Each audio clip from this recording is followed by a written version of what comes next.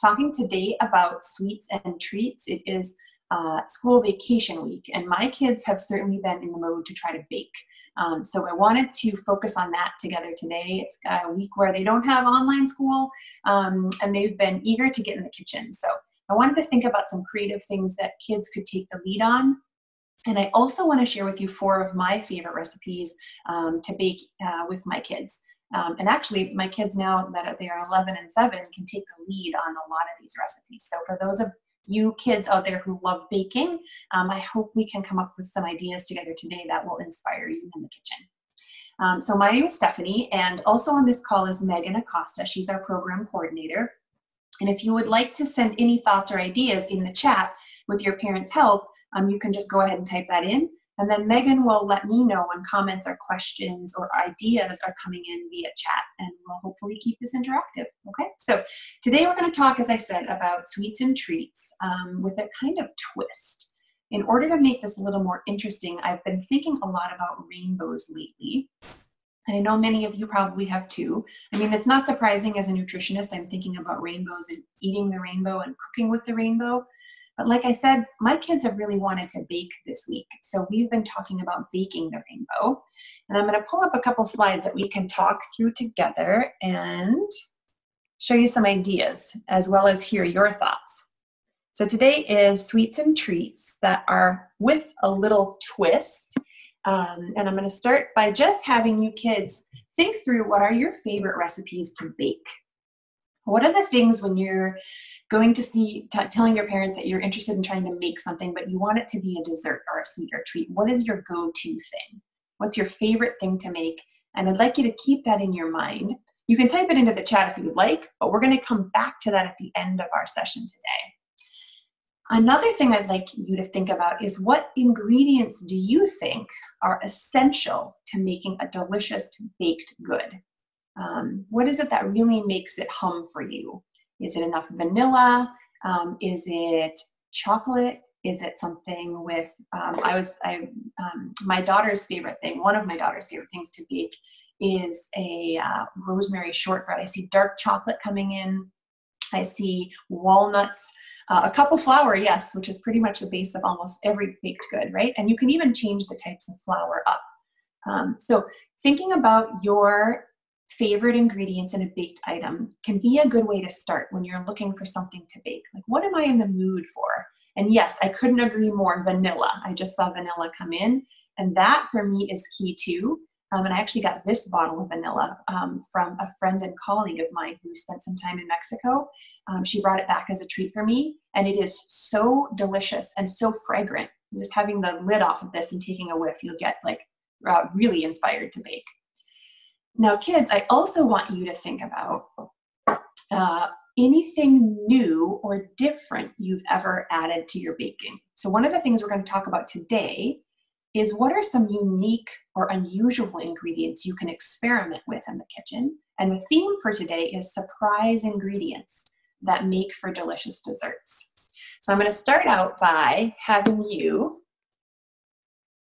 uh, hopefully take my baker's challenge and this week of school vacation, and it might take you a little bit longer, I'd like you to think about building the rainbow into things you bake. And I'm not just talking about food coloring or any of those cakes that have all the layers and they've just been colored with food dye.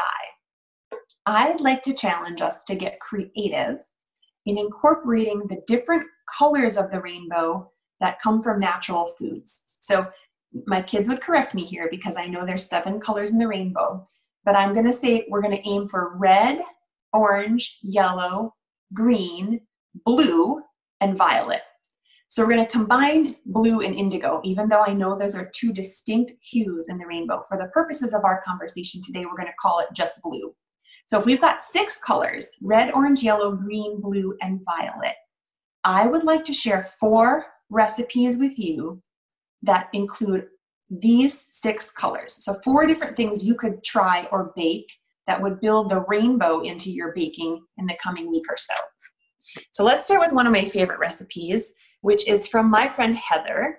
Heather Staller is a Boston based chef and mom who has a wonderful um, knack for creating delicious and nutritious recipes that are very kid friendly. So this picture is from her website where she, and, and Megan's putting it into the chat for you now, she creates recipes for her own food blog and cooking um, classes. And her cooking classes are at Healthy Kids Kitchen here in the greater Boston area. But she also creates unique and special recipes for a really cool website called Veggie Buds Club. I'll just mention here, these aren't endorsements of any particular product or company, um, but I like to give credit where credit is due because there's some hardworking chef moms out there making up fabulous recipes. And this is one of them. So this is a double chocolate spinach brownie. And I think those of you who are looking at the picture can guess one of the ingredients. It's in the title. It's a spinach in the brownie. But that's not the only surprise ingredient that makes these brownies so moist and delicious. They also contain a can of, you guessed it, black beans. And it might sound surprising. How are black beans going to get into brownies and taste anything like brownies, right? This is part of the baker's challenge. So if you want to try this recipe, you have the link and you can give it a go. But I also put the 10 ingredients you need so you kids can take a quick check of your pantry to see if you have what you need to make double chocolate spinach brownies. It's a can of black beans and two cups of spinach, along with the other things you see listed on the slide. A lot of the stuff that's basic, right? And probably something you already have on hand. So, with these double chocolate spinach brownies, the first time I mentioned it to my kids, I got this reaction Really? Salad in brownies? What do you think, kids? Even adults or parents, what do you think? How will these go over at your house? And do you have spinach on hand or do you have a can of black beans you could rinse and drain and throw into the food processor? Because the other thing I love about this recipe is it's all made in the food processor. So while you're going to need help and supervision, kids, with getting this recipe done, food processors aren't the kind of thing you want to use on your own. You want to have your parents' supervision. I really want to get creative and see if we can build in the rainbow, like I said. But the fun thing about this recipe is every time I've made it for someone and not told them what was in it, apart from just mentioning these have a surprise ingredient, they usually think they're delicious. So this is a challenge for you to try in your own home. And what can you use besides a food processor? I would say a high speed blender should work uh, because, and what you might try if you don't have a food processor, and thank you for that question, is you might just take the spinach first and put it in the blender. Yes, exactly. Like a little Hamilton Beach blender will work just fine. And you'll you could put the spinach right into the blender and you could put even the eggs. There's two eggs in this recipe. You could put the two eggs in with the spinach and black beans and blend that into a liquid. And then the rest of the recipe you would just make in a big mixing bowl like you usually would. So thank you for that question. Um, so I'm thinking about for you all, if you were to try it, keeping track not only of the types of things, the flavors and the textures you notice if you make these brownies, but even more fun, who in your family might you like to serve these brownies to? And do you think they would be able to identify the surprise ingredients? So, double spinach black bean brownies is my first recipe for the rainbow. And kids or adults, that covers which color of the rainbow? Which one have we built in so far? Yes, perfect, green. So we've got one color of the rainbow covered. And again, that's Heather Staller's recipe um, that you can find both in the link here as well as in the slides. So next up, I'm going to share with you the second recipe our family loves, and this is from Cookie and Kate, which is another online food blog. And these are her raspberry lemon muffins. And so I'm gonna suspect that you kids can guess quite quickly what two colors are baked right into these. And there's the recipe from Megan if you want to find the link online. And kids, if you hear raspberry and lemon, you're going to guess which two colors? Yes, yellow and red. So as we move on through the rainbow, finding ways to build these colors into our baked goods, these recipe, this particular recipe has the um, not only the juice of lemon, but you also include the zest of lemon. So for the kids who like to get really into the fragrance of time in the kitchen, you're going to take a lemon and a zester and have a really fun time getting that skin um, off of the lemon to include in this recipe. And that gives a not, nice little extra pop of flavor into the raspberry lemon muffins. So, so far we've covered green, red, and yellow in our rainbow of color. And I'm going to move us along to our third recipe, which is here. And this is a snapshot from one of my favorite food blogs we've heard a lot about here on family nutrition and, and other classes I'm teaching. It's the Minimalist Baker's Sweet Potato Muffin. So a second muffin, but a different color. And this uses the, the mashed up sweet potato. Like, if, for example, you were having sweet potatoes one night for dinner this week, you could just bake an extra one and set it aside to use in your sweet potato muffins. So their link to the recipe is right here. Um, she does a lot of really fun things with her sweet potato muffin recipes, including adding almond butter or topping it with almond butter, which is a delicious way to enjoy this muffin. My personal twist on this muffin is adding blueberries, which I find delicious. So whenever I make this muffin, I just have some frozen blueberries on hand and just throw in a handful or whatever looks like a quantity of blueberries you'd like in your muffin. And if we do that, kids, we will have accomplished which two colors in this one recipe? Yes, orange for the sweet potato, of course, and blue for the blueberry. So as we work our way through the rainbow, we've covered now green, red, yellow, orange, and blue. And that brings us to what I think is probably the hardest color to bake with on a regular basis. And this is another area I'd love to invite parents and kids to type in the chat. What is your go to recipe, if you can think of one, where you might bake with something that's purple? And I'm gonna, while you think of that and type it into the chat, show you, oh, actually, I forgot one recipe. This is another recipe I make all the time in the summer. I think that's why I haven't thought of it. Um, I make the Easy Fruit Crisp recipe that's linked here um, as found on A Couple Cooks. Um, a Couple Cooks, we published this recipe with permission. It's Liz Moody's original creation. And Liz Moody published this recipe in a book called Healthier Together, great cookbook. Um, what I love about this particular recipe is its flexibility. And as we've been talking about the last few weeks, there's nothing more important right now when it comes to food than being flexible with your recipes and also what you have on hand. So the easiest part of this recipe is it just calls for five cups of fruit and it's any color, any combination. So I've made this recipe before with frozen berries and also peaches. You can throw any different color you have and this really brings the rainbow concept home. Um, I also like it's super easy. This recipe literally comes together in 15 minutes.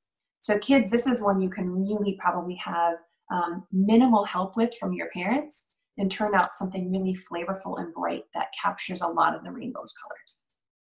Okay, so back to that question I had for you about trying to bake with something purple.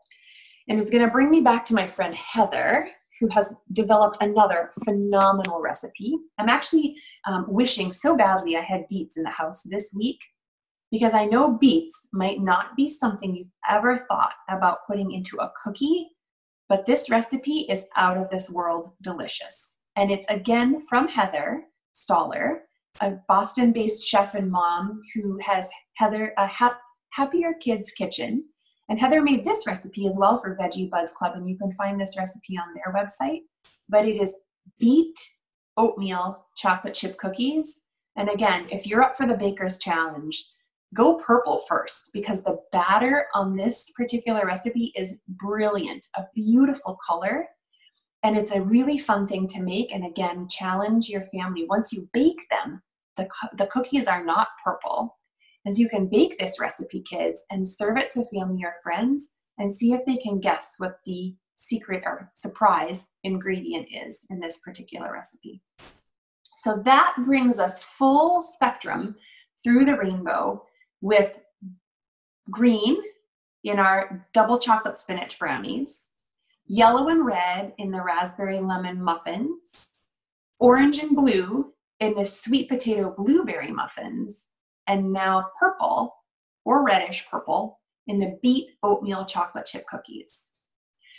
So I'm going to take a moment there and have you let me know what you think of these particular recipes. What jumps out at you? What would be the first thing you think you might try? Any thoughts or comments?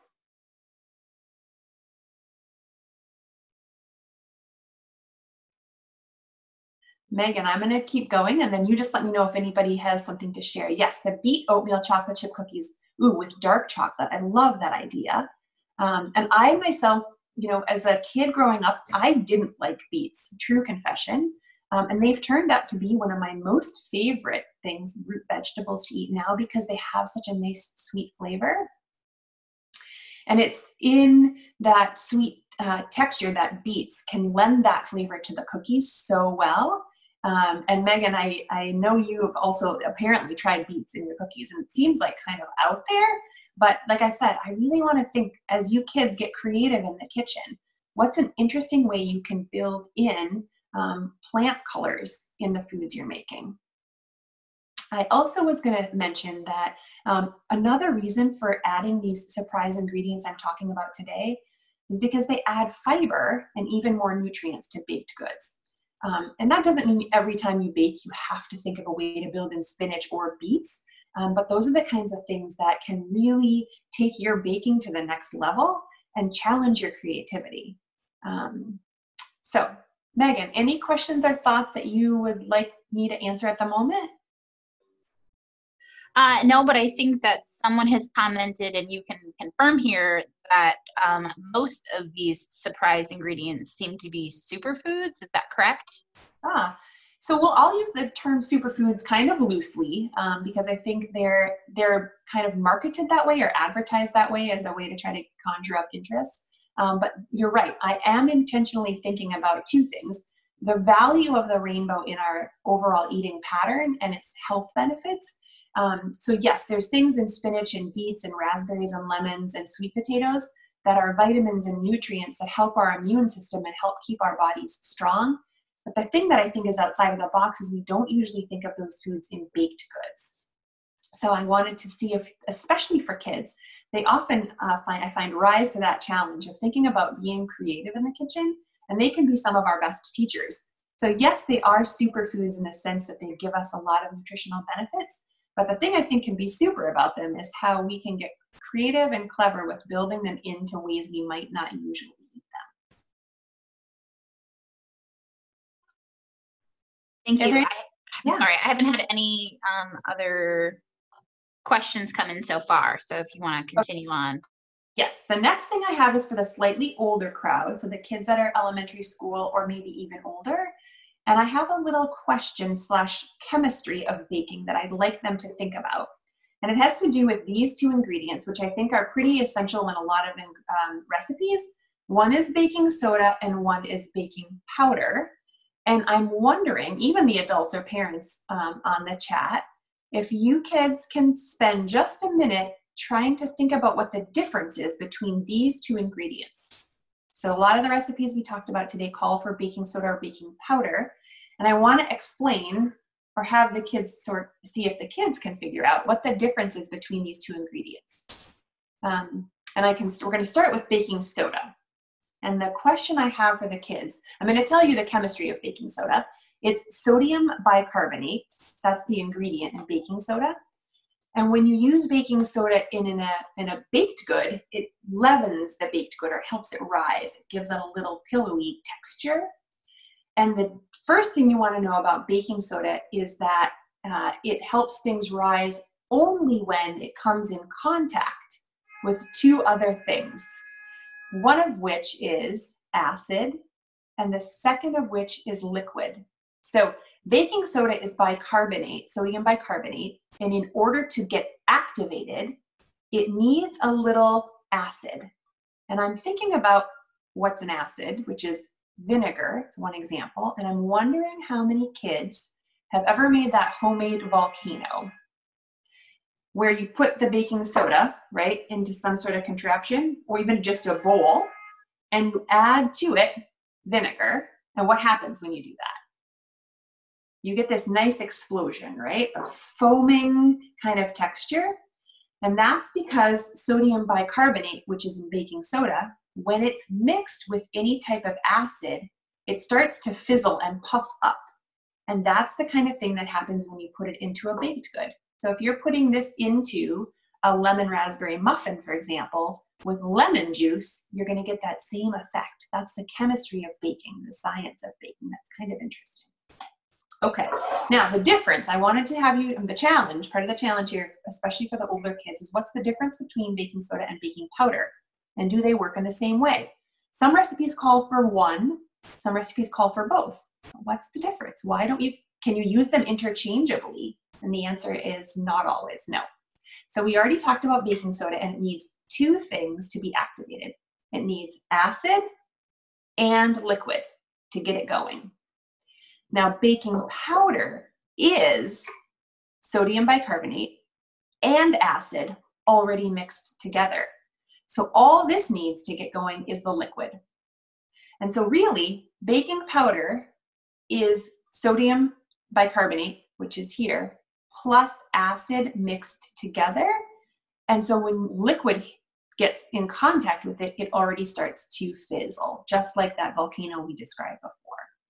So the other thing I'm curious if kids know about is this part on baking powder or even adults where it says double acting. What double acting is. That's another piece of trivia for the kids. If anybody knows the answer, feel free to type it into the chat. And I'll explain the chemistry of double acting, which is, I think some people are taking a guess. Double acting means that since this has sodium bicarbonate and acid mixed together, the first action is when it gets touched with liquid. So any liquid you put into a recipe is going to activate the sodium bicarbonate and acid in baking powder. That's the first action. And the second, second action is when this gets heated. So that's what double acting means. It first acts when you get it wet, and it second acts when you get it hot. So when you're baking a cake or a cookie and you're using, or a muffin, and you're using baking powder, the first thing happens is you get that egg or milk in the mixture and it starts to get puffy. And then you put it in the oven and it puffs even more. And that's what it means by double acting. All right, so that's our